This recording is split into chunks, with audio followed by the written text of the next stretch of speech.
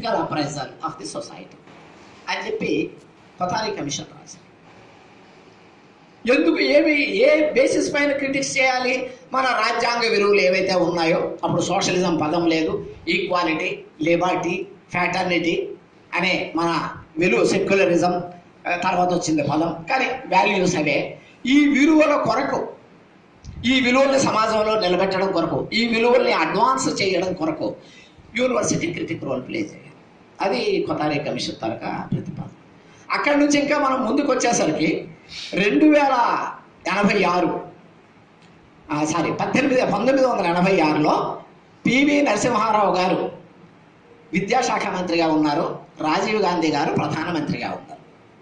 ఉండేటప్పుడు national policy and education nineteen eighty six తీసుకొచ్చారు. మీరు అవన్నీ చదివే టీచర్లు అయ్యి ఉంటారని నా ఉద్దేశం. ఎందుకంటే సరే అయ్యో కాలేజ్ లెక్చరర్స్ కాకపోయినా స్కూల్ టీచర్లు అయితే తప్పకుండా వాళ్ళ సిలబస్లో ఉంది ఎంపీ ఎయిటీ సిక్స్ దాని నుంచి బయటకు వచ్చారు. మీ అందరికీ గుర్తుంటారు కనీసం.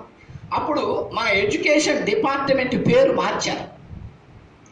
దాన్ని ఏమన్నారంటే ఎడ్యుకేషన్ డిపార్ట్మెంట్ అని పేరు తీసేసి హ్యూమన్ రిసోర్స్ డెవలప్మెంట్ డిపార్ట్మెంట్ అని మినిస్ట్రీ అని పేరు పెట్టారు. Ministry of human resource development.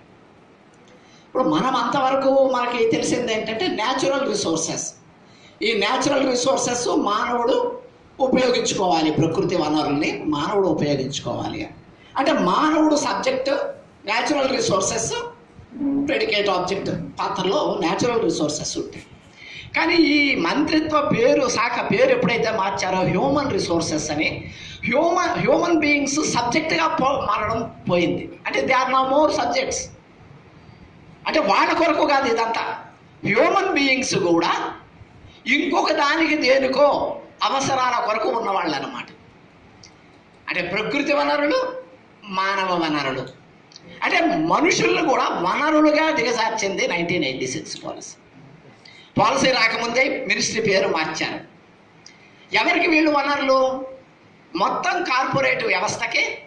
అటు ప్రకృతి వనరులు ఇటు మానవ వనరులు. So we are being reduced the resources of the corporate house so మన మిత్రుడు ఇప్పుడు ఏదైతే అడిగాడో క్వాంటిఫికేషన్ ఆఫ్ నాలెడ్జ్ అంటే డేటా కలెక్షన్ డేటా అనాలసిస్ ఏదైతే ఈ కాన్సెప్ట్స్ అన్ని మనకి ఎక్కడి నుంచి వచ్చాయంటే when we are being reduced to the human resources not human beings human beings నుంచి హ్యూమన్ రిసోర్సెస్గా మనం మార్చబడ్డాం. హ్యూమన్ రిసోర్సెస్గా మార్చబడినప్పుడు మీకు knowledge orientation ideological orientation conceptual orientation ఉండదు. క్వాంటిఫికేషన్ ఇప్పుడు ఎకనామిక్స్ పోతే ఒకప్పుడు ఆంధ్ర యూనివర్సిటీలో ఎకనామిక్స్ అంటే పెద్ద పేరు. హైదరాబాద్ సెంట్రల్ యూనివర్సిటీ కూడా డి ప్రొఫెసర్ డి నరసింహారెడ్డి వాళ్ళు ఉన్నప్పుడు ఒక స్థాయిలో ఉండింది. మరి ఇప్పుడు ఎకనోమెట్రిక్స్ ఎకనోమిక్స్ పోయి ఎకనోమెట్రిక్స్ కదా వచ్చింది. వాళ్ళు ఇప్పుడు హిస్టరీని కూడా హిస్టరోమెట్రిక్స్ చేస్తేనే డిపార్ట్మెంట్ కొనసాగుతుంది లేకపోతే మూసేస్తామని చెప్తున్నారు. మనం ఏమన్నా హిస్టరీని ఎట్లా మెట్రిక్స్ చేస్తారంటే వాళ్ళు ఎట్లా చేస్తారో చూడాలి. కాబట్టి హిస్టరీని కూడా ఇప్పుడు క్వాంటిటేటివ్ సైన్స్గా దిగజార్చే ఒక ప్రయత్నం అనేది లేకపోతే ఉండదు. దేన్నన్నా క్వాంటిటీస్లో చెప్తేనే ఉంటుంది. లే లేకపోతే ఆ సబ్జెక్ట్ ఉండదు ఆ ఫ్యాకల్టీ ఉండదు ఆ డిపార్ట్మెంట్ సో ఈ హ్యూమన్ రిసోర్స్ అనే కాన్సెప్ట్ని మనకి ఎయిటీ సిక్స్ పాలసీ తీసుకొచ్చింది. తీసుకొచ్చి ఎయిటీ సిక్స్ పాలసీ ఎడ్యుకేషన్ ఎందుకు అని ప్రశ్న ఇస్తే సరే సెక్యులరిజం డెమోక్రసీ అన్నీ రాశారు. వాళ్ళు కంటిన్యూ చేశారు. ఎయిటీ సిక్స్ పాలసీలో కాన్స్టిట్యూషనల్ వాల్యూస్ని కంటిన్యూ చేశారు. కనీసం రైటింగ్లో కంటిన్యూ చేశారు. కంటిన్యూ చేసి ఎడ్యుకేషన్ ఎందుకు అంటే వాళ్ళు ఏం చేశారంటే జాబ్ కొరకు అన్నారు. మన పిల్లలంతా వెంటనే ఒప్పుకుంటారు సా సారు మరి జాబ్ లేకపోతే ఎడ్యుకేషన్ చదివి ఏం లాభం? జాబ్ ఉండాలి కదా అని. జాబ్ ఉండాలి అన్న దాంట్లో మనకేం అబ్జెక్షన్ లేదు. జాబ్ ఉండాలి. ఎడ్యుకేషన్ చదివిన వాళ్ళు వాళ్ళు నేర్చుకున్న దానికి తగిన ఉద్యోగం ఉండాలి. కానీ ఎడ్యుకేషన్ తగిన ఉద్యోగం ఇచ్చేది ఎవరు? యూనివర్సిటీ కాదు. ఆర్థిక వ్యవస్థ.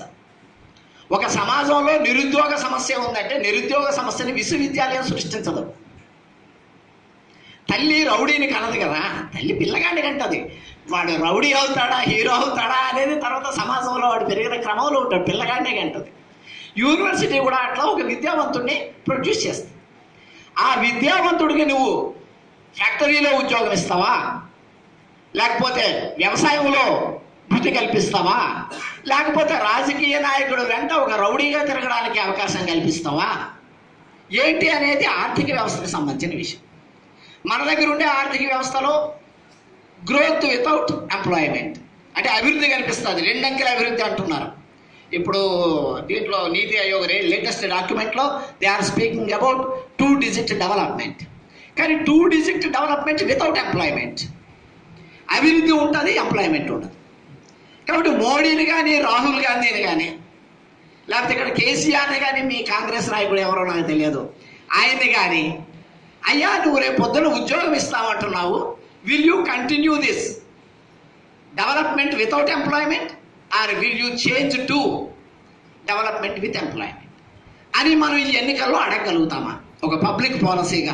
నువ్వు పాలసీ మార్చకపోతే మరి ఆనాడు మోడీ ఏమో సంవత్సరానికి కోటి ఉద్యోగాలు ఇస్తానన్నాడు ఇవ్వలేదు. ఇస్తానన్నప్పుడు మనం నమ్మడం మన తప్పు కదా. ఆయన డెవలప్మెంట్ వితౌట్ ఎంప్లాయ్మెంట్ ఆయన ప్రొసీడ్ అవుతున్నాడు. నువ్వు ఇది మార్చు అని అడగకుండా ఉద్యోగాలు ఇస్తాడని చెప్తే మనం నమ్మాం. మరి ఇప్పుడు ఈనాడు కూడా రేపొద్దున ఎన్నికలు తిరిగి వస్తున్నాయి. ఈ కాన్సెప్ట్ ఇది ఒక కాన్సెప్ట్గా ఒక యూనివర్సిటీ ఒక హైయర్ ఎడ్యుకేషన్ దీన్ని ఒక ప్రశ్నగా మలచగలుగుతుందా? ప్రాక్టికల్ లెవెల్లో మీరు అన్నట్టు దీన్ని ఈ డెవలప్మెంట్ మోడల్ని మనం ప్రశ్నించగలుగుతామా? ఒక క్రిటికల్ అప్రైజల్ చేయగలుగుతామా?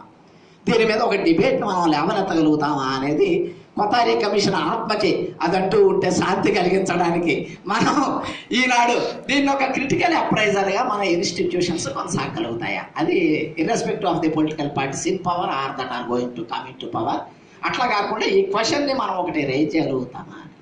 సరే ఎయిటీ సిక్స్ పాలసీకి వచ్చేసరికి వాళ్ళు ఏం చేశారంటే secular education democratic education education that provides scientific temperament that promotes equality that promotes liberation that promotes fraternity అని వాళ్ళు ఎయిటీ సిక్స్ పాలసీలో రాసుకున్నారు. అక్కడ నుంచి వచ్చేసరికి కానీ ఉద్యోగం ఎందుకు విద్య ఎందుకంటే ఉద్యోగం కొరకు మాత్రమే అన్నారు. అదే హైయర్ ఎడ్యుకేషన్ గురించి ప్రభాత్ పట్నాయక్ ఒకసారి రాస్తూ ఈ డబ్ల్యూటీఓ దీని లోపల ఆయన ఏమన్నాడంటే హయ్యర్ ఎడ్యుకేషన్ వివిధీకరించబడుతున్న అంటే డైవర్సిఫైడ్ డెవలప్మెంట్ ఏదైతే ఉంటుందో ఇంతకుముందు లైఫ్ ఒకే రకంగా ఉండేది. లైఫ్ అనేక డైవర్సిటీస్ వస్తుంది అనేక డెవలప్మెంట్స్ వస్తుంది. ప్రతి సందర్భంలోని ప్రతి కొత్త ఉత్పత్తి వచ్చినప్పుడు ప్రతి కొత్త వ్యవస్థ వచ్చినప్పుడు ప్రతి కొత్త ప్రశ్న వచ్చినప్పుడు ఆ కొత్త ప్రశ్నకి ఆ కొత్త డైవర్సిటీకి ఆ కొత్త డెవలప్మెంట్కి డెమోక్రసీ అంటే ఏందో చెప్పగలగాలి హైయర్ ఎడ్యుకేషన్ అన్నాడు. అంటే higher education is to be elaborated with all means along with all possible developments that are taking place in the society ఉత్పత్తిలో అభివృద్ధి కావచ్చు రాజకీయాల్లో వైవిధ్యం కావచ్చు అనేక రకమైన సామాజిక సమస్యలు మన ముందు రావచ్చు. అది ఒక తెలంగాణ సమస్య కావచ్చు ఒక జెండర్ సమస్య కావచ్చు. మరొక లాంగ్వేజ్ సమస్య కావచ్చు. ప్రతి సందర్భం లోపల కూడా డెమోక్రసీ అంటే ఏంటి? How democracy operates under this question ఆ డెమోక్రసీ ఈ క్వశ్చన్ని ఎట్లా ఆన్సర్ చేయగలుగుతుంది కొత్త టెక్నాలజీ వచ్చింది. ఆ కొత్త టెక్నాలజీ మనకుండే ఒక వైవిధ్యాన్ని దెబ్బతీస్తుంది. కొండ చేసుకునే వాడి వృత్తిని పోగొడుతుంది. ఒక స్టీల్ బింది వచ్చి.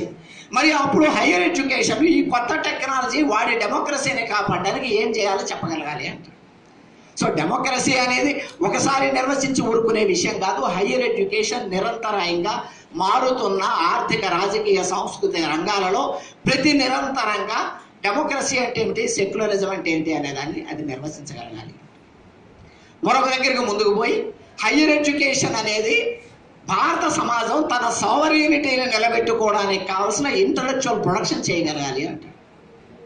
So in the field of technology in the field of science in the field of production in the field of ideologies భారత సమాజం తన యూత్ని అమెరికాని ఆస్ట్రేలియాని జపాన్ని ఇంగ్లాండ్ని ప్రశ్నించగలిగే తన యూత్ని తాను ప్రొడ్యూస్ చేయగలగాలి so సావరేట్ is associated directly with higher education అనేది అక్కడ పర్స్పెక్టివ్ మనకు అనిపిస్తుంది.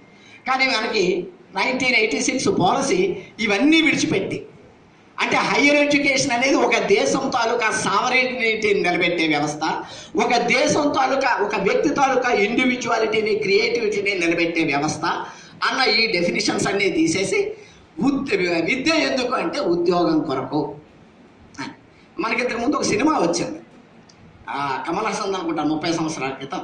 అందులో ఇంటర్వ్యూలో ఇంటర్వ్యూ చేసిన ఆయన అడుగుతాడు అయ్యా మన దేశ ప్రధాని మన దేశ అధ్యక్షుడు ఎవరు? అని.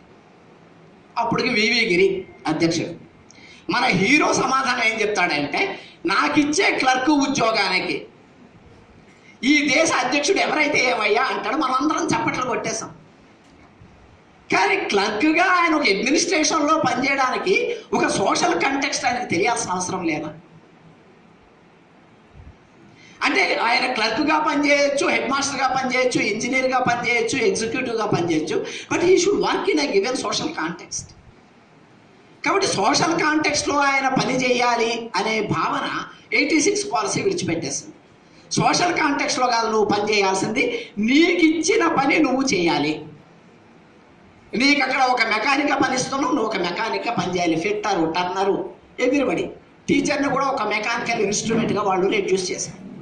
కాబట్టి ఎయిటీ సిక్స్ పాలసీ ఏం చేసిందంటే మేము హ్యూమన్ బీయింగ్ని తయారు చేస్తున్నాము అన్న భావన కాకుండా మేము ఒక టెక్నీషియన్ని తయారు చేస్తున్నాం ఒక స్కిల్డ్ పర్సన్ తయారు చేస్తున్నాం. ఆయన ఎట్లా ఉంటాడు?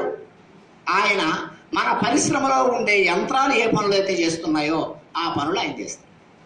కొత్త యంత్రం వచ్చిందంటే ఆయన రిప్లేస్ చేయబడతాడు. మనిషి యంత్రం చేత రిప్లేస్ చేయబడుతున్నాడు. శ్రమ యంత్రం చేత రిప్లేస్ చేయబడడం వేరు. మనిషి యంత్రం చేత రిప్లేస్ చేయబడుతున్నాడు అంటే అది చాలా దురదృష్టం. చాలా దురదృష్టకరం అనిపిస్తుంది. ఒక పది సంవత్సరాల క్రితం అనుకుంటాను మేము ప్రత్యామ్నాయ విద్యా విధానం పుస్తకం రైలు చేసినప్పుడు ఒక మిత్రుడు అడిగాడు అయ్యా కంప్యూటర్ ద్వారా ఇంటర్నెట్ ద్వారా ఎక్స్పర్ట్స్ పాఠాలు చెప్తున్నారు కదా. ఆ పాఠాలు మన టీచరు ఎందుకు అవసరం? టీచర్ని తీసేసి ఆ పాఠాలు గవర్నమెంట్ పాలసీ సో తను కూడా ప్రశ్న లేదు. టీచర్ని తీసేసి కంప్యూటర్ ఆ క్లాస్ రూమ్లో పెట్టేస్తే పిల్లలు పాఠాలు వింటే మన టీచర్. అంటే ప్ర- ప్రస ఏంటంటే మన టీచరు అప్పటికే మేము రెసిస్ట్ చేయలేకపోయాం ఆయన్ని. ఎందుకంటే మన టీచరు అప్పటికే మెకానికల్గా తయారైపోయాడు. పుస్తకంలో ఉన్నదే చెప్తున్నాడు. తన ముందు కూర్చున్న పిల్లలు ఎవరు వాళ్ళకి అర్థమవుతుందా లేదా? వాళ్ళకి ఏ ఎగ్జాంపుల్స్ చెప్పాలి? ఎప్పుడు ఆగాలి? ఎప్పుడు కంటిన్యూ చేయాలి? ఎప్పుడు వాయిస్ పెంచాలి? ఏ మాడ్యులేషన్ లేదు మన దగ్గర. మన టీచర్లు అప్పటికే యాంత్రికంగా తయారైపోయారు. యాంత్రికంగా తయారైపోయే టీచరు కంప్యూటర్ కంటే తక్కువ వాడు ఎందుకంటే computer is more perfect than the human being in the given task or the task it is train for ఆ సాఫ్ట్వేర్కి ఏ టాస్క్ మీరు ట్రైన్ చేస్తారో అక్కడ తప్పకుండా ఏ పదిహేను అంకెలు ఇంటూ పదిహేను అంకెలు ఇచ్చినా computer half a quarter of సెకండ్లో మీకు ఆన్సర్ ఇచ్చేస్తుంది. మనం చేయలేం కదా పని? Computer is perfect in a trained task in a given task human బీయింగ్గా ఒక టీచరు తన రోల్ని ఒక కంప్యూటర్ కంటే మెరుగ్గా ఆర్గనైజ్ చేయలేనప్పుడు హ్యూమన్ టీచర్ అనేది కంప్యూటర్ స్థాయికి దిగజారిపోయినప్పుడు ఈజీలీ టీచర్ని మీరు కంప్యూటర్తో రిప్లేస్ చేయొచ్చు. సో మనం అందరం ఒకసారి వెరిఫై చేసుకోవాలి. మనం కంప్యూటర్లా వర్క్ చేస్తున్నామా? టీచర్లాగా వర్క్ చేస్తున్నామా అనేది. సో వాళ్ళు ఏం చేశారంటే ఎయిటీ సిక్స్ పాలసీలో మొత్తం ఎడ్యుకేషన్ అనేది ఎంప్లాయ్మెంట్ అని. ఎంప్లాయ్మెంట్కి స్కిల్స్ ఆ ప్రధానమని. కాబట్టి ఎడ్యుకేషన్ని స్కిల్ ట్రైనింగ్కి వాళ్ళు రెడ్యూస్ చేశారు. జాబ్ స్పెసిఫిక్ కోర్సెస్ అని పెట్టారు డిగ్రీలో. ఇంటర్మీడియట్లో వొకేషనల్ కోర్సెస్ అని పెట్టారు. ఆ వొకేషనల్ కోర్సు చేసిన వాడికి ఉద్యోగము రాలేదు డిగ్రీలో జాయిన్ అవ్వడానికి ఎలిజిబిలిటీ కూడా రాలేదు. Doctor G Sudarshanam professor G Sudarshanamu ఆయన రిటైర్ అయ్యాడు హెచ్సియులో పొలిటికల్ సైన్స్ డిపార్ట్మెంట్లో. మీ వరంగల్ అనుకుంటా మీలో చాలామంది తెలుసు. వాళ్ళ తమ్ముడే దీనికి విక్టిమ్ అయ్యాడు. ఈ వొకేషనలైజేషన్ ఆఫ్ ఎడ్యుకేషన్కి వాళ్ళ సొంత తమ్ముడే విక్టిమ్ అయ్యాడు. సో ఎడ్యుకేషన్ ఎప్పుడైతే మీరు స్కిల్ ట్రైనింగ్ కుదించారో అక్కడి నుంచి ప్రాబ్లం. వాళ్ళు ఇంకోటి ఏమన్నారు? ఇంతకుముందు రమేష్ గారు ఇది దాన్ని రైజ్ చేశారు పబ్లిక్ గుడ్ ప్రైవేట్ గుడ్ ఎడ్యుకే హయ్యర్ ఎడ్యుకే ప్రై స్కూల్ ఎడ్యుకేషన్ పబ్లిక్ గుడ్ అన్నారు. హయ్యర్ ఎడ్యుకేషన్ ప్రైవేట్ గుడ్ అన్నారు. దీని మీద డిబేట్ వచ్చింది. డిబేట్ వచ్చినందుకు వాళ్ళు పాలసీ డాక్యుమెంట్లు ఈ మాట చేర్చలేదు. కానీ ఈ మాటనే వాళ్ళు ఇంప్లిమెంట్ చేశారు. పాలసీ డాక్యుమెంట్లో చేరలేదు కానీ ఈ మాటనే ఇంప్లిమెంట్ చేశారు ఈ సందర్భంగా వాళ్ళు నైన్టీన్ ఎయిటీ ఫైవ్లో ఛాలెంజ్ డాక్యుమెంట్ విడుదల చేసి ఎయిటీ సిక్స్లో పాలసీ తీసుకొచ్చారు. ఆ మధ్యలో రాజీవ్ గాంధీ ఒకసారి మాట్లాడాడు. ఆయన ఏమన్నాడంటే ఒక వ్యక్తి ఒక స్టూడెంట్ డాక్టర్ అవుతున్నాడు. ఇంకొక స్టూడెంట్ ఇంజనీర్ అవుతున్నాడు. ఈ డాక్టర్ కానీ ఇంజనీర్ కానీ ఎట్లా అవుతున్నారంటే గవర్నమెంట్ మెడికల్ కాలేజీలో గవర్నమెంట్ ఇంజనీరింగ్ కాలేజీలో లక్షలు కోట్లు పబ్లిక్ మనీ స్పెండ్ చేస్తే వాళ్ళు డాక్టర్లు ఇంజనీర్లు అవుతారు. ఇందులో కాడదనడానికి ఏం లేదు కదా. మరి ఈ డాక్టరు ఇంజనీర్లు మళ్ళా డబ్బులు సంపాదించుకొని ఆ డబ్బులు తమ పాకెట్లోనే వేసుకుంటున్నారు. ఇప్పుడు మన ముందు ఇది ఒక ప్రశ్నే కదా. పబ్లిక్ మనీతో డాక్టర్ అవుతున్నాడు. డాక్టర్ అయినాక డబ్బులు సంపాదించి తన ప్రైవేట్ పాకెట్లో వేసుకుంటున్నాడు. ఒక వైరుధ్యం. రాజీవ్ గాంధీ చాలా కరెక్ట్గా ఈ వైరుధ్యాన్ని ఐడెంటిఫై చేశాడు. మరి ఈ వైరుధ్యానికి రెండు రెండు పరిష్కారాలు ఉన్నాయి. ఒక పరిష్కారం ఏమంటే ఆ వ్యక్తి తన డబ్బులతోటే డాక్టర్ అవ్వడము డాక్టర్ అయినాక తాను సంపాదించుకొని తన పాకెట్లో వేసుకోవడం ఇది ఒక పరిష్కారం.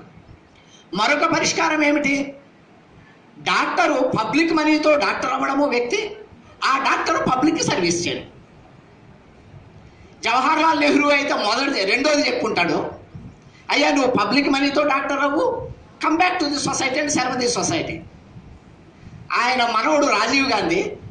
అయ్యా నువ్వు ప్రైవేట్ మనీతో డాక్టర్ అవ్వు. సంపాదించి నీ పాకెట్లో పెట్టుకో అని చెప్పాడు. అంటే రెడ్యూస్ ది డాక్టర్ ఇంతకుముందు రమేష్ గారు చెప్పినట్టు హండ్రెడ్ పర్సెంట్ ఇండివిజువల్ అదే మనకి స్వాతంత్రోద్యమ కాలంలో మొదటి దశాబ్దంలో రెండవ దశాబ్దంలో కొతారి కమిషన్ వరకు ఎయిటీ సిక్స్ పాలసీ వరకు సుమారు ముప్పై నలభై సంవత్సరాల పాటు డాక్టర్ పబ్లిక్ మనీతో అవ్వాలి డాక్టర్ పబ్లిక్ సర్వే చేయాలి అనే ఒక కాన్సెప్ట్ మన ముందు పనిచేసింది. ఎయిటీ సిక్స్ పాలసీలో వాళ్ళు రివర్స్ చేసి డాక్టర్ ప్రైవేట్ మనీతో అవ్వాలి ప్రైవేట్ బెనిఫిట్ చూసుకోవాలి. ఎప్పుడైతే డాక్టర్ ప్రైవేట్ మనీతో డాక్టర్ అవ్వాలి కోట్లాది రూపాయలు ఖర్చు పెట్టాలి ప్రైవేట్ బెనిఫిట్ చూసుకోవాలి ప్రైవేట్ బెనిఫిట్ చూసుకోవాలంటే కిడ్నీలు దొంగతనం చేసి అమ్మే వరకు మన డాక్టర్లు దిగజారిపోయారు అంటే ఇట్ లీడ్స్ టు కదా? ఇట్ లీడ్స్ టు తప్పకుండా ఎప్పుడైతే మీరు ప్రైవేట్ ఇంట్రెస్ట్ ప్రధానమవుతుందో కిడ్నీ దొంగతనం చేయడంలో ఆయనకి లేక ఆమెకి ఎటువంటి తేడా ఏమీ కనిపించదు. ఎస్ నాకు ఇది అవకాశం ఉంది నేను ఇది చేస్తాను. ఎంఏలో ఒక పని చేస్తాడు ఎంఏ ఇంకో పని చేస్తాడు. నాకు ఇది అవకాశం ఉంది కాబట్టి నేను ఇది చేస్తాను. Nothing wrong I'm doing for myself that is the idea అని. సో ఎయిటీ సిక్స్ పాలసీ మనకు ఒక బ్రేక్ ఇచ్చింది. అంటే fifty six nineteen forty seven నుంచి రాజకీయ పరిణామాలు ఏవైతే జరిగాయో వాటిని మనం ఎన ఎట్లా అనలైజ్ చేసుకున్నా అప్పటి నుంచి ఎయిటీ సిక్స్ పాలసీ వరకు హయ్యర్ ఎడ్యుకేషన్ ఒక social good eighty six policy నుంచి హయ్యర్ ఎడ్యుకేషన్ ఒక ప్రైవేట్ గుడ్ ప్రైవేట్ ఇంట్రెస్ట్ని సర్వ్ చేయడం ప్రారంభించింది. మొత్తం సమాజాన్ని ఒక కమర్షియల్గా మార్చేసింది. సరే ఫ్యాక్టరీలు ప్రైవేట్ రంగంలో ఉండొచ్చు. అనేకమైన ఉత్పత్తులు ప్రైవేట్ రంగంలో ఉండొచ్చు. కానీ education health are separately specially linked with production of individuals. అందుకొరకే ఒక ఆదర్శంగా ఒక తాత్విక ఆదర్శంగా ఒక చర్చనీయాంశంగా మిగతా వాటిని ప్రైవేట్ పరం చేయడానికి విద్యా వైద్య రంగాల్ని ప్రైవేట్ పరం చేయడానికి మధ్యలో ఒక గ్యాప్ చూస్తూ వచ్చారు. మొత్తం సమాజం లోపల థింకర్స్ ఈ రెండు ఒకటి కాదు. ఒక ఫ్యాక్టరీ ప్రైవేట్ పరం చేయడం వేరు ఒక విశ్వవిద్యాలయాన్ని ప్రైవేట్ పరం చేయడం వేరు. ఈ రెండింటిని వేరు వేరుగా చూడాలి. ఎందుకంటే ఇక్కడ మ్యాన్ మేకింగ్ అనేది ఎడ్యుకేషన్లో ఉంది అని మనం అనుకునేటప్పుడు అయితే సరే మనం పొలిటికల్ ఎకానమీలో నైన్టీన్ ఫార్టీ సెవెన్లో ఫిఫ్టీ సెవెన్లో మన రాజ్యము అంటే టాటా బిర్లాల కొరకు పనిచేస్తుందని మనం అనుకుంటే టాటా బిర్లాల కొరకు పనిచేసిన మన నాటి రాజ్యము ఫార్టీ సెవెన్ దగ్గర నుంచి కూడా బిర్లా ప్లాన్ అమలు చేశారు అప్పటి నుంచి కూడా. అప్పుడు వాళ్ళు ఏం చేశారంటే ఎడ్యుకేషన్ని పబ్లిక్ సెక్టార్లో ఉంచాలి అన్నారు. అప్పుడు మన కార్యకర్తలందరూ కూడా వామపక్ష కార్యకర్తలందరూ ఏం విశ్లేషణ చెప్తూ వచ్చారు అంటే అది వాస్తవమే. అది ఏం చెప్తూ వచ్చారంటే ఫ్యాక్టరీలకి ట్రైన్డ్ కార్మికులు కావాలి. ఆఫీసులకి ట్రైన్డ్ క్లర్కులు ఆఫీసర్లు కావాలి. మిలిటరీకి పోలీస్కి పర్సనల్ కావాలి. అంటే ఈ రాజ్య వ్యవస్థని ఈ పెట్టుబడి వ్యవస్థని ఈ పరిశ్రమల్ని నిర్వహించడానికి ఎడ్యుకేటెడ్ ట్రైన్డ్ పీపుల్ కావాలి. కాబట్టి రాజ్యము పెట్టుబడిదారుల కొరకు పారిశ్రామికవేత్తల కొరకు వాళ్ళ రాజ్యం కొరకు నిర్వాహకుల్ని ఎడ్యుకేషన్ సిస్టమ్ ద్వారా ప్రొడ్యూస్ చేస్తుంది. మీరు ఒప్పుకుంటారా లేదా వేరే విషయం నేను కూడా దాని మీద ఏమి ఇన్సిస్ట్ చేయ అయితే అంతవరకు మరి ఎయిటీ సిక్స్ పాలసీలో అంతవరకు ఉన్న ఆ బాధ్యతను ఎందుకు మానేసింది రాజ్యము? మళ్ళీ ఇది ఒక ప్రశ్న కదా. రాజ్యము producing the skilled manpower for the capital for the running of the state for the running of the administration okay మరి ఎయిటీ సిక్స్ తర్వాత ఎందుకు మానేసింది? మీరు జాగ్రత్తగా పరిశీలిస్తే ఎయిటీ సిక్స్ నాటికి అంటే మనకి ఫిఫ్టీ సిక్స్లో రాధాకృష్ణ కమిషన్ దగ్గర నుంచి ఎయిటీ సిక్స్లో ఎన్పి ఎయిటీ సిక్స్ వరకు ఈ ముప్పై సంవత్సరాల కాలంలో మన మధ్యతరగతి వర్గం చాలా స్లిమ్గా ఉండింది. మధ్యతరగతి వర్గంలో చాలా తక్కువ మంది ఉన్నారు. వాళ్ళు తమ బిడ్డల్ని ఎడ్యుకేట్ చేసి తామే ఖర్చు పెట్టి ఎడ్యుకేట్ చేసి ఈ పరిశ్రమల్లోని లేకపోతే అధికార యంత్రాంగంలోకి పంపించే శక్తి ఆనాడు మధ్యతరగతి వర్గానికి లేదు. ఎయిటీ సిక్స్కి వచ్చేసరికంతా మధ్యతరగతి వర్గం విస్తరించింది. ఇప్పుడు వీళ్ళు తమ సొంత డబ్బులతో వాళ్ళకి కావాల్సిన కార్మికుల్ని ప్రొడ్యూస్ చేయగలుగుతారు. వాళ్ళకి కావాల్సిన అడ్మినిస్ట్రేటర్స్ ఇండియాకే కాదు అమెరికాకి కావాల్సిన వాళ్ళని కూడా మనమే ప్రొడ్యూస్ చేసి పంపిస్తాం అంటే now the middle class is empowered economically to produce the labour needs or needs other other needs intellectual needs of the capitalist class or ruling class or its lackeys or its state its government so eighty సిక్స్కి middle class పెరగడము. ఇప్పుడు middle class ఏమో private education ద్వారా కొని ఉత్పత్తి చేస్తుంది. Working క్లాస్కి education ఇవ్వాల్సిన అవసరం ఏముంది? ఇప్పుడు మీరు ఇంకా ఎడ్యుకేషన్ పబ్లిక్ సెక్టార్లో పెడితే educating the working class educating the rural mass మళ్ళీ వీళ్ళు పోయి రోహిత్ వేపుల ఈ హైదరాబాద్ సెంట్రల్ యూనివర్సిటీలో ప్రశ్నలు ఎవరెత్తుతారు లేకపోతే కన్నయ్య అయిపోయి ఢిల్లీలో ఢిల్లీ యూనో జేఎన్యూలో పోయి ప్రశ్న లేవనెత్తారు. Let these people be stopped here ఇక వీళ్ళు ఎడ్యుకేషన్ విస్తరించడం అంటే వ్యవస్థను ప్రశ్నించడమే. ఇక ఎడ్యుకేషన్ విస్తరించడం. సో ఇప్పుడు ఏమైపోయిందంటే మొత్తం ఎడ్యుకేషన్ ప్రైవేట్ పరంగా. ప్రైవేట్ ఎన్ని రకాలుగా జరిగిందో మీ అందరూ తెలుసు. ఒక ప్రైవేట్ విద్యా సంస్థలు పెట్టారు అక్కడితో ఆగల. పబ్లిక్ విద్యా సంస్థల్లో కూడా సెల్ఫ్ ఫైనాన్స్డ్ కోర్సులు పెట్టారు. పబ్లిక్ మెడికల్ కాలేజీలో ఉండే ఫీజుని ఒక సాధారణ టీచర్ కూడా కట్టలేడు అన్లెస్ భార్యాభర్తలు ఇద్దరు టీచర్లు అయితేనే కానీ ఒక సాధారణ teacher government medical college fees కట్టలేడు private private medical college అంటే ఎడ్యుకేషన్ ఎంత కాస్ట్లీ అఫైర్ అయిపోయినప్పుడు eighty percent of the population higher ఎడ్యుకేషన్కి పోలేరు. సో ఇప్పుడు అంటే ఈ కమర్షియలైజేషన్ ఆఫ్ ఎడ్యుకేషన్ అనేది మన ఒక పొలిటికల్ ఎకానమీ అవుట్పుట్గా వచ్చింది. అదేమి? ఆటోమేటిక్గా రాలేదు. రాజీవ్ గాంధీ బుర్రలోనో పివి నరసింహారావు బుర్రలోనో అది పుట్టలేదు. అది వరల్డ్ బ్యాంక్ నుంచి ఐడియాస్ వచ్చాయా? లేకపోతే రిలయన్స్ నుంచి ఐడియాస్ వచ్చాయా? ఆ రెండు కంబైన్ అయ్యాయా? మనకి తెలియదు కానీ అది హిస్టారికల్గా వచ్చాయి. ఒక చారిత్రక అవసరం నుంచి అంటే సమాజం యొక్క చారిత్రక అవసరం కాదు పెట్టుబడి దాని డెవలప్మెంట్ యొక్క చారిత్రక అవసరం నుంచి ఒకనొక సందర్భంలో మనకు ప్రైవేటు విద్య అనేది వచ్చింది. సో ఇదే సందర్భంలో ఇంకోటి జరిగింది. మనకి ఎర్లియర్ పీరియడ్లో ఎడ్యుకేషన్ అంటే సంగీతము సాహిత్యము ఫిలాసఫీ సైకాలజీ ఇవన్నీ ఉండేవి మన యూనివర్సిటీలో లింగ్విస్టిక్స్ హిస్టరీ ఆఫ్ కోర్స్ ఇవన్నీ ఉండేవి. ఇప్పుడు ఎడ్యుకేషన్ ఏమైంది? ఈ కోర్స్ అన్నీ పోయాయి ఫిలాసఫీలో ఎవరు జాయిన్ అవ్వరు. ఇప్పుడు కావాలంటే కూడా నేను హైదరాబాద్ సెంట్రల్ యూనివర్సిటీ ఫిలాసఫీలో నాకు ఇప్పుడు కూడా సీట్ వస్తుంది. అక్కడ ఎవరు కాంపిటీటర్స్ లేరు. డిపార్ట్మెంట్లో మూసుకుపోతున్నాయి. ఏమైందంటే ఒకప్పుడు ఎడ్యుకేషన్ ఒక ఐడియాలజికల్ పర్పస్ మాత్రమే. కానీ ఇప్పుడు ఎడ్యుకేషన్ ఒక మెటీరియల్ పర్పస్ కూడా. ఒక ఫ్యూడల్ బ్యాక్గ్రౌండ్లో భారతదేశానికి స్వాతంత్రం వచ్చిన ఒక పరిస్థితుల్లోని ధనిక వర్గాలకు చెందిన వాళ్ళు అక్కడికి వచ్చి తత్వశాస్త్రం చదువుకునేవాళ్ళు. ఆ తత్వశాస్త్రాన్ని వాళ్ళ జీవితంలో ఇంప్లిమెంట్ చేశారా లేదా అది వేరే విషయం. తప్పకుండా కొద్దిమంది ఫ్యూడల్ లార్డ్స్ కొడుకులు కూడా ప్రజా ఉద్యమాల్లోకి వచ్చారు. రాలేదని ఏం కాదు అందరూ రాకపోయి ఉండొచ్చు. అక్కడ తత్వశాస్త్రం చదివారు అక్కడ సైకాలజీ చదివారు అక్కడ హిస్టరీ చదివారు అక్కడ పొలిటికల్ థాట్ చదివారు. వాళ్ళలో కొద్దిమంది వర్కింగ్ క్లాస్ దగ్గరకు వచ్చారు. కానీ అంటే చదువు అనేది somewhere was related more with the entire society కానీ ఎప్పుడైతే మీరు ఫిజిక్స్ నుంచి కూడా పోయి టెక్నాలజీకి వెళ్ళిపోయారో టెక్నాలజీలో కూడా సమగ్రమైన టెక్నాలజీ నుంచి పుట్టి ఒక ఆస్పెక్ట్ ఆఫ్ టెక్నాలజీకి మీరు ఎప్పుడైతే రెడ్యూస్ అయిపోయారో ఒక ఏరియా ఆఫ్ టెక్నాలజీకి మీరు ఎప్పుడైతే రెడ్యూస్ అయిపోయారో చదువు చదువుగా లేకుండా పోయింది. ఇది మనకి వచ్చే ఒక కాంటెక్స్ట్ ఈ కొంత కా- ఈ కొత్త కాంటెక్స్ట్లో ఇంకొక విషయం కూడా. ఒకప్పుడు ఉద్యోగం అవసరం లేని వర్గాలు విశ్వవిద్యాలయాలకు వచ్చాయి. ఇప్పుడు ఉద్యోగం అవసరమైన వర్గాలు విశ్వవిద్యాలయాలకు వస్తాయి. ఎందుకంటే వాళ్ళకి ఇంకేమీ లేదు ఇంట్లో పొలమేమి లేదు. అరే వీళ్ళంతా గ్రామానికి వెళ్ళిపోయి దున్నుకోవచ్చు కదా అంటే దున్నుకున్న తర్వాత ఆత్మహత్య చేసుకోవాలి. మొత్తం మన ఆగ్రో క్రైసిస్ ఏ స్థాయిలో ఉందో మీ అందరికీ తెలిసిన విషయం. కాబట్టి అందరికీ ఉద్యోగాలే కావాలా అంటే అందరికీ ఉద్యోగాలు అవసరం లేదు. నువ్వు వ్యవసాయాన్ని క్రైసిస్ నుంచి బయటపెట్టు. నీకు ఉద్యోగ నిరుద్యోగ సమస్య ఇంకో దగ్గర పరిష్కారం. There are many people who like to go back to home and work in the village along with the parents and other people కానీ విలేజ్లో భవిష్యత్తు లేక కదా విలేజ్లో ఉన్న వాళ్ళు ఇరవై సంవత్సరాలు వ్యవసాయం చేసిన వాళ్ళు తాతలు ముత్తాతలుగా వ్యవసాయం చేసిన కుటుంబాల పిల్లలు కూడా వాళ్ళు పిల్లలు కాదు నలభైలు యాభైలు ఏజ్లో ఉండే వాళ్ళు కూడా వ్యవసాయం తమ్ముడికో బావమరిదికో అప్పచెప్పి పట్టణానికి వచ్చి కూలీ చేసుకుంటున్నారు. ఎందుకు చేసుకుంటున్నారు? వాళ్ళు ఎందుకు గ్రామాన్ని విడిచిపెట్టి పట్టణానికి వచ్చారనే ప్రశ్న మనం వేయకుండా అరే మీరు గ్రామాలకు పొండి అని పిల్లలకు మనం పిలుపు ఇస్తే ఏం ప్రయోజనం ఉండదు.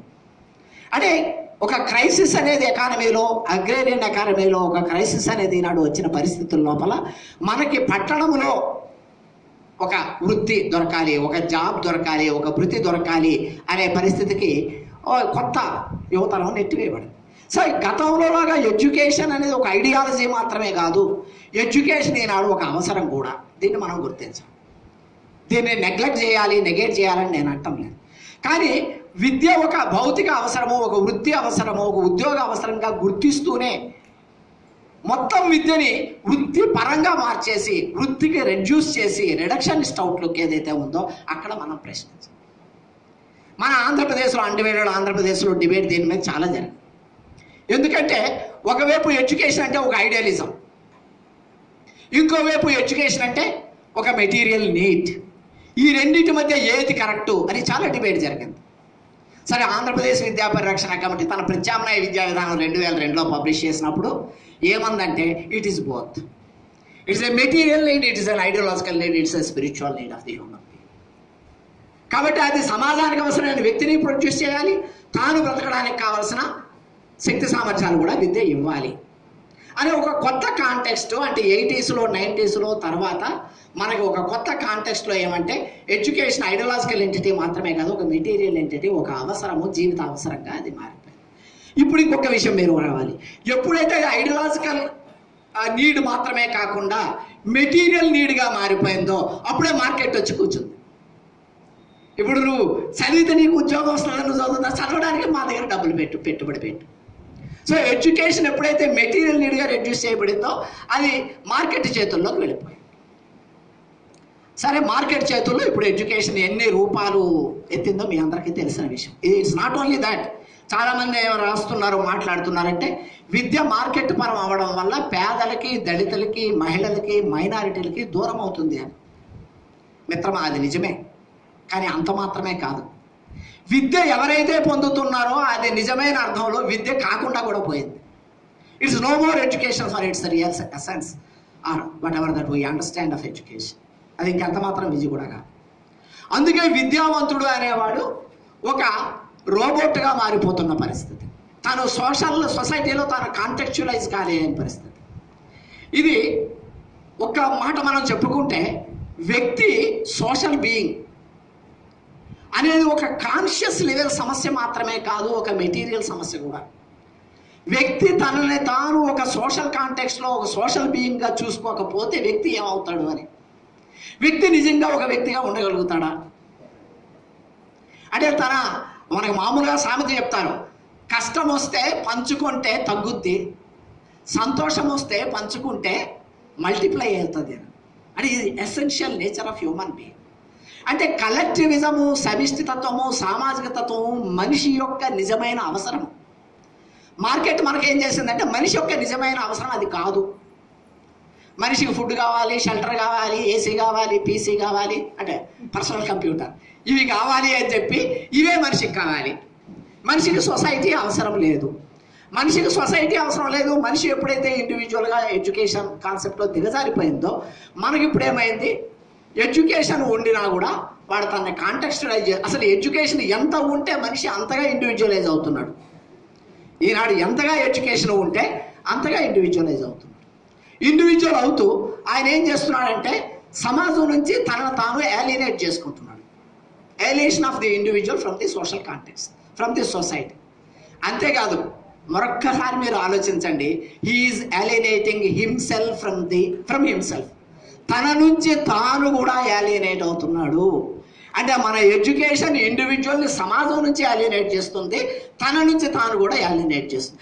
ఆత్మహత్యను మీరు ఎట్లా ఎక్స్ప్లెయిన్ చేస్తారు చెప్పండి? ఆత్మహత్యని యాలినేటింగ్ సెల్ఫ్ ఫ్రమ్ సెల్ఫ్ తనని తాను ఆ, దాని నుంచి తన నుంచి తొలగించుకోవడమే ఆత్మహత్య అంతకంటే వేరే మరి విద్యార్థుల్లో ఆత్మహత్య మనం అప్పుడు చిన్నప్పుడు ఆత్మహత్య అనేది చాలా రేర్ కేస్ ఇప్పుడు తెల్లారితే ఎకనామిక్ క్రైసిస్ వచ్చినాక రైతులు ఆత్మహత్య చేసుకుంటున్నారు. ఒక ముప్పై సంవత్సరాల క్రితం ఉస్మానియా యూనివర్సిటీలో ఓ ప్రొఫెసర్ ఉన్నాడు.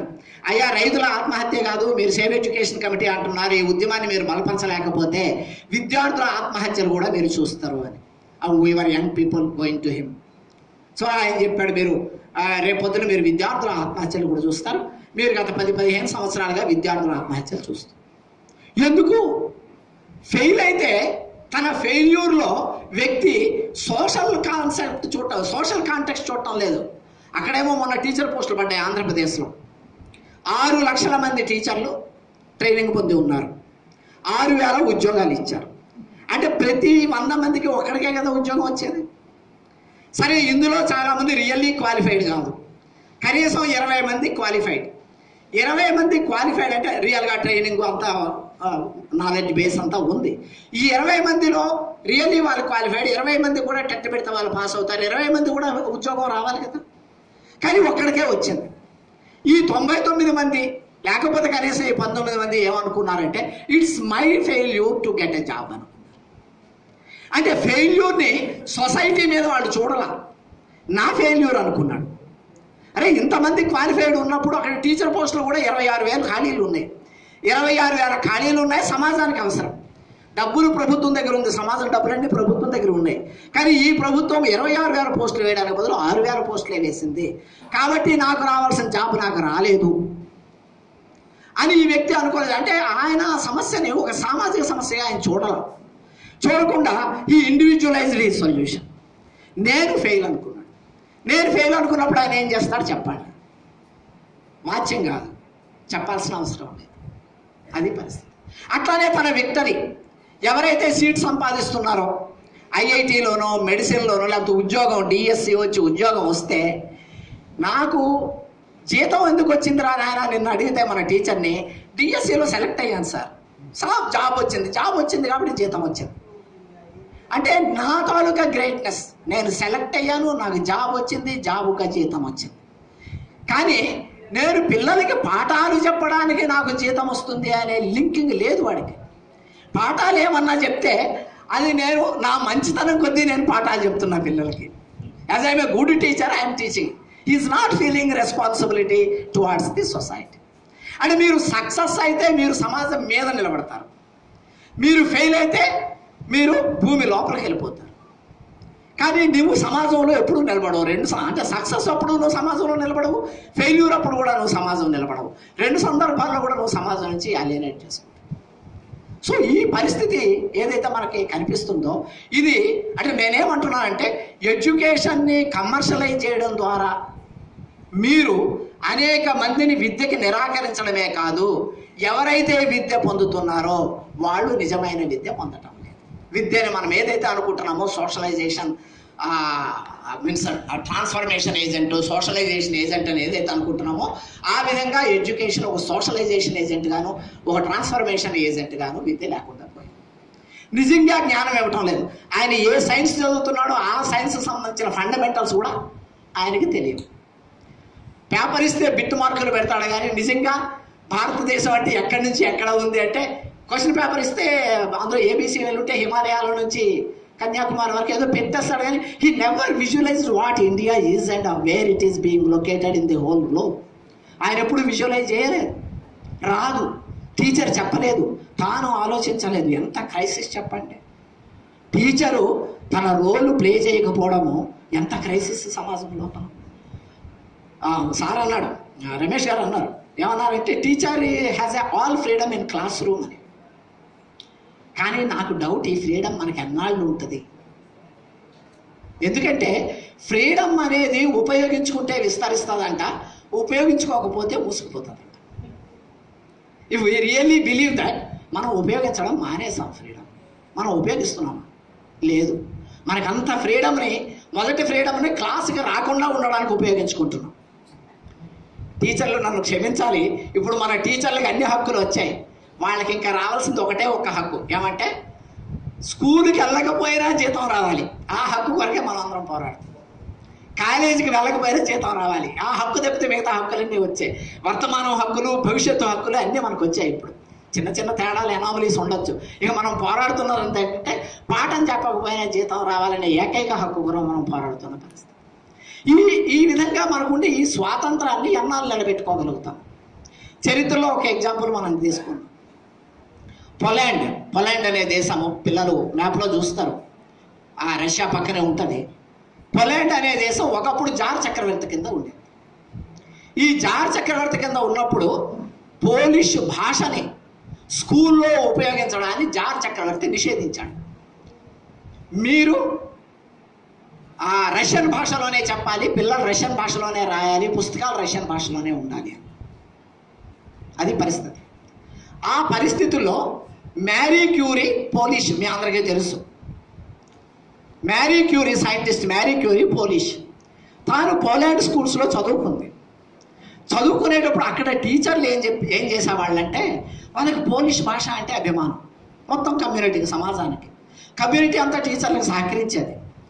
వాళ్ళు రష్యన్ భాషలో పుస్తకాలు పోలిష్ భాషలో పుస్తకాలు రెండు తెచ్చుకోమని చెప్పేవాళ్ళు పిల్లలకి.